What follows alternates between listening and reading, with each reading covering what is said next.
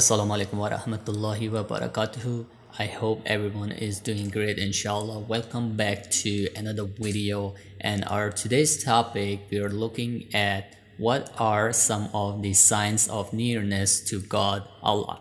When we approach the light, the light causes us warmth and heat and when we move away from the light we enter darkness and cold and we feel that it is dark and cold everywhere but how should one feel the signs of nearness to God Allah? So proximity in the world, it means closeness of one thing to another. This closeness is sometimes spatial and sometimes temporal. Proximity in common usage has another meaning, which is having the same value, status, and position in the eyes of another. In other words, the use of closeness means that a person is considered and loved by a special person and has a value and a status with him. So regarding closeness to God, Allah, it should be said, it is obvious that the great God Allah has neither side nor direction and this path and the way of closeness is not realized in the context of essence of seeker's existence. So to know it you can use other important things. First, emptiness of heart from other than God Allah. According to religious teachings, the emptier a person's heart is from God, the more he will enjoy his worship. Jesus, peace be upon him, said a person will not enjoy his worship as long as the world is sweeter in his heart as the patient looks at food because of the intense pain does not enjoy it thoroughly. Second, enjoying the sweetness of worship. It is mentioned in the narrations that man worships God in a way that he enjoys his worship. The more a person enjoys his worship, the more it will be a sign of his closeness to Allah. The Messenger of Allah sallallahu alaihi wasallam said, the best people is the one who loves and embraces divine worship and loves it from the bottom of his heart and dedicates his body to the divine worship. Third, performing your religious practices and rituals. Performing religious duties will be the criteria of a person's superiority over others in the sight of Allah. Hence, it will be one of the signs of nearness to Allah. As Imam Sajjad said, the one who acts according to what God has bestowed is for the good of the people. He who acts according to the divine duties, he is the best of the people. By doing these deeds, man can seek nearness to God Allah. Imam Sadiq said, God says, My servant has not turned to my friendship with anything more beloved than doing what I have made obligatory on him. Fourth, avoidance of sins. Prophet Muhammad wasallam said in a hadith, the most devout people are those who perform their duties and the most diligent people are those who avoid sins. As simple as that. Fifth, increased patience and endurance of problems. A person who is aware of his problems must be patient and Persevere, don't be impatient and jealous. Never leave the field of events, never lose control in order to achieve a great goal. As Imam Ali salam said, with patience and goodwill, remove the sorrow upon yourself.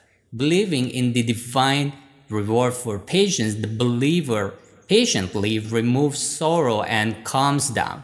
And it will be natural that such a person is closer to Allah. Sixth, a heartfelt thanksgiving. Thanksgiving, or saying Alhamdulillah and being grateful to the Creator opens the way to His knowledge and strengthens a person's bond with the Creator.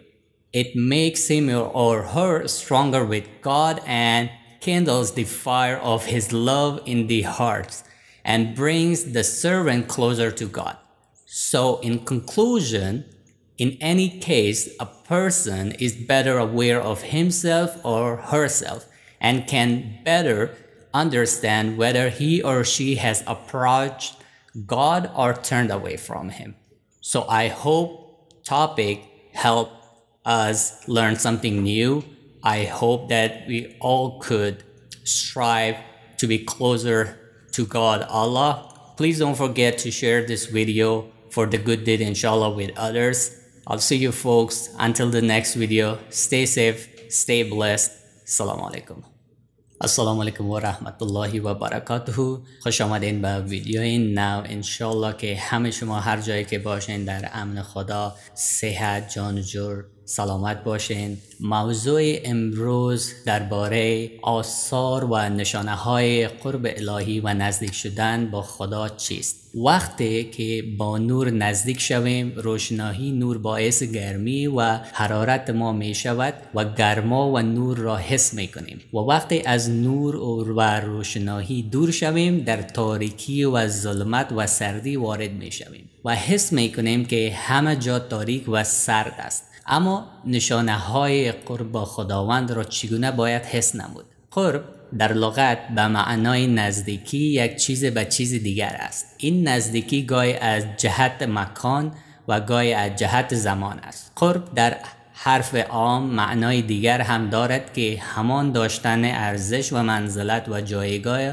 در نزد دیگری است. با داشتن ارزش و منزلت و جایگاه در نزد دیگر عبارت دیگر استعمال قرب به معنای مورد توجه و علاقه فرد خاص بودن و ارزش و منزلت داشتن نزد اوست. در مورد قرب خدا باید گفت واضح هست که خدا بزرگ نه سمت و نه سو و نه جهت دارد و نه این مسیر طریق قرب در متن زاد وجود سالک محقق می گردد پس برای شناخت آن می توان از امور مهم دیگر کمک گرفت. مثلا اول خالی بودن دل از غیر خدا. انسان از غیر خدا قلب طبق آموزهای دینی هر مقدار خالی باشد لذت وی از عبادتش بیشتر خواهد مثلا مثل حضرت عیسی در یک حدیث فرمودند که صاحب دنیا یعنی انسان ها از عبادتشان لذت نخواهد برد تا وقتی که دنیا در ذائقه او شیرین است. از بهره نصیبش نمیگردد چنان که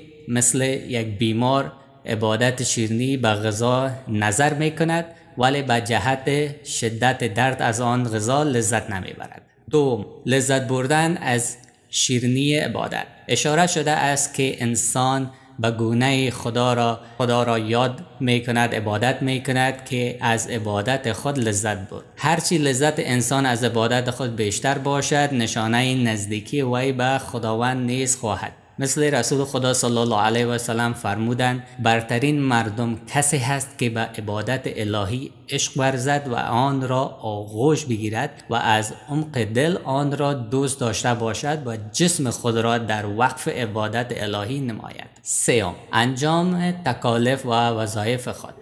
عمل به وظایف دینی ملاک برتری و بر دیگران در نگاه خداوند خواهد بود. از این رو یکی از نشانه های نزدیکی به پروردگار به شما خواهد آمد. مثل که امام سجاد فرمودند من عمل به مفترد الله علیه فهو من خیر الناس. کسی که به واجبات الهی عمل کند او بهترین مردم هست. و با انجام این احمال انسان می تواند به خداوند نزدیکی به وجود بیاورد. مثل امام صادق علیه السلام فرمودند خداوند می فرماید بنده من با چیز محبوبتر از انجام آنچه بر او واجب کرده ام به دوستی من رو نیاورده است. چهارم دوری از گناهان. پیامبر محمد مصطفی صلی الله علیه و سلم فرمودند آبترین مردم کسی هست که واجبات گناهان را برپا دارد و کوشاترین مردم آن کسی هست که از آن گناه دوری نماید. پنجم تحمل مشکلات صبر زیاد شدن. یک انسان آگاه در برابر مشکلات باید شکیبایی و استقامات کند. بیتابی و حوصلگی نکند. هرگز از میدان حوادث بیرون نرود زمان اختیار از دست ندهد تا به هدف بزرگ خود نائل گردد. چنان که امام علی علیه السلام فرمودند با اراده های صبورانه و حسن یقین غمهای وارد بر خود را دور سازید مومن با اعتقاد به ثواب و پاداش الهی برای صبر کردن با صبوری غم و اندو را از خود می زارد و آرام می‌گیرد و طبیعی خواهد بود که چنین فردی به خداوند نزدیکتر است. ششم از صمیم قلب شکرگزاری. شکرگزاری از خالق راهی به سوی معرفت او می گشاید. و پیوند انسان را با آفریدگار محکمتر می کند شکرگزاری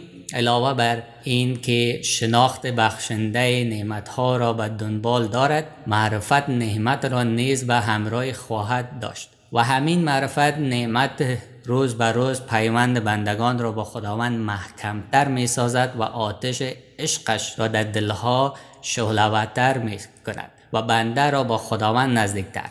در خلاصه به هر حال خود انسان بهتر به درون خود آگاه و بهتر می تواند بفهمد که آیا با خداوند نزدیک شده و آیا از او دور گذشته است. انشاءالله که خداوند سر همه ما لطف کند که با خداوند نزدیکتر باشیم و نزدیکتر شده بریم روز به روز. راه های زیاد هسته انشاءالله خداوند به همه ما نصیب کنه. انشاءالله که همه ما یک چیز نو یاد گرفته باشیم و خداوند کمک کند که انشاءالله که راه عملی بتانیم. فراموش نکنید که این ویدیو را با حسن نیت به دیگران هم بفرستید. تا ویدیوی بعدی روز خوش. سلام علیکم.